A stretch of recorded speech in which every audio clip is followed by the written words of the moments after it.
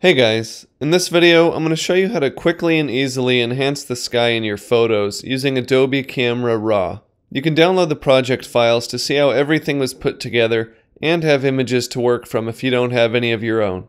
Let's get started. So the sky where this picture was taken was really cool looking at the time, but the photo really doesn't do it justice. So what we're going to do is just bring it back to what it looked like in real life.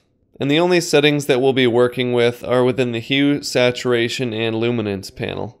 So I'm going to come over here and click on the hue, saturation, and luminance panel, or HSL, and we're going to start with the hue.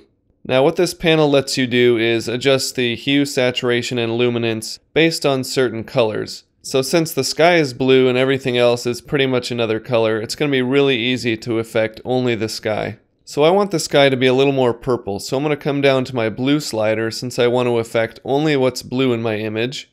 And I'm going to drag that to the right just a bit, maybe about 15. Next I'll go into the saturation panel, and I'm going to increase the saturation of the blues in my image all the way up to about 35.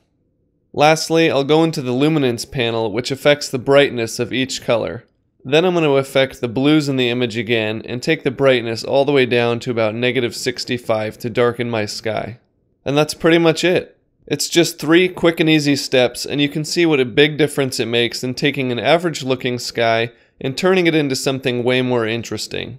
You can do this in both Photoshop and Lightroom since they both use Adobe Camera Raw to process photos. Plus you can use this same method with JPEGs and other non-RAW files too. I'm John Shaver for Photoshop Video Academy. Thanks for watching. I'll see you next time.